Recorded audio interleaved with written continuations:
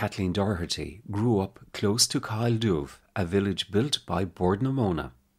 I remember when they built the village, and I remember the day that it was blessed, the village, the houses, and that was in the 50s, I'd say. Then we had a new church built to accommodate the new people. Bit of a row rose over that. They wanted in the village, and the people at Timahoe wanted it down here because there was no church for years.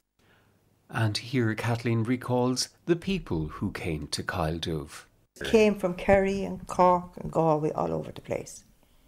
Men, all mostly men, of course, and they were in billets. And we went to school in the billets when the school, Timahoe School, was being renovated.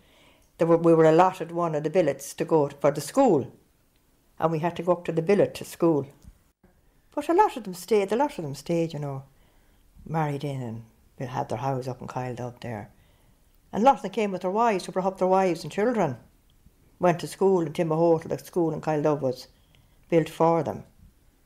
Yeah. And then there was a great social life as well. There used to be carnival every summer.